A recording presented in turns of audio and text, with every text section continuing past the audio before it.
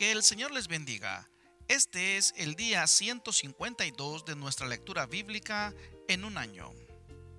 Salmo número 15. Jehová, ¿quién habitará en tu tabernáculo?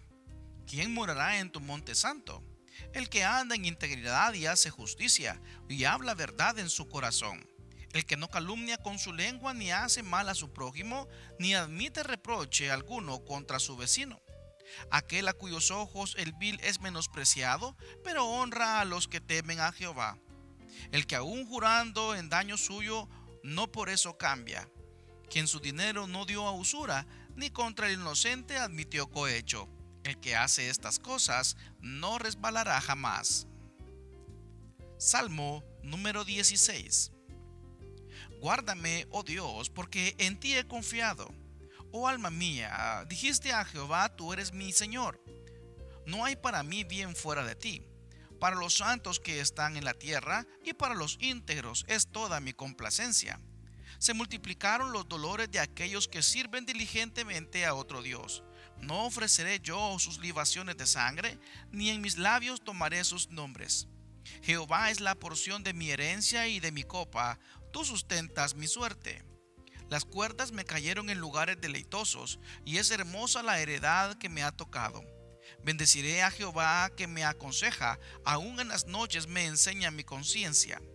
A Jehová he puesto siempre delante de mí, porque está a mi diestra, no seré conmovido.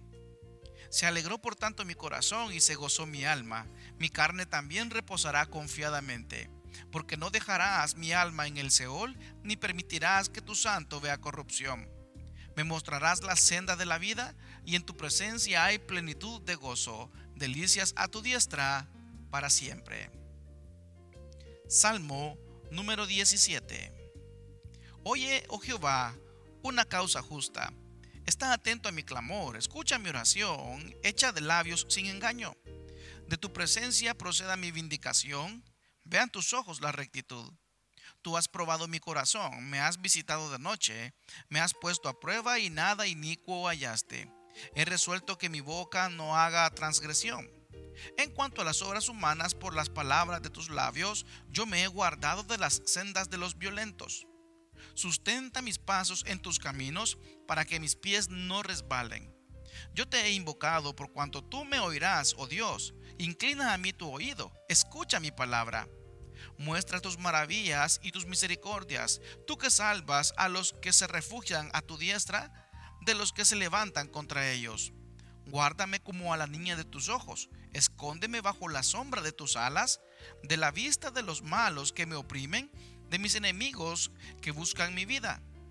Envueltos están con grosura, con su boca hablan arrogantemente.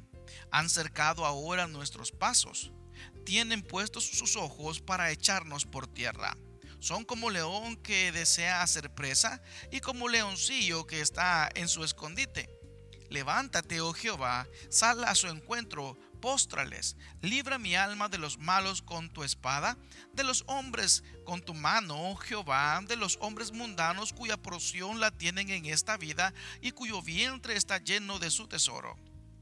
Sacia a sus hijos y aún sobra para sus pequeñuelos. En cuanto a mí, veré tu rostro en justicia, estaré satisfecho cuando despierte a tu semejanza.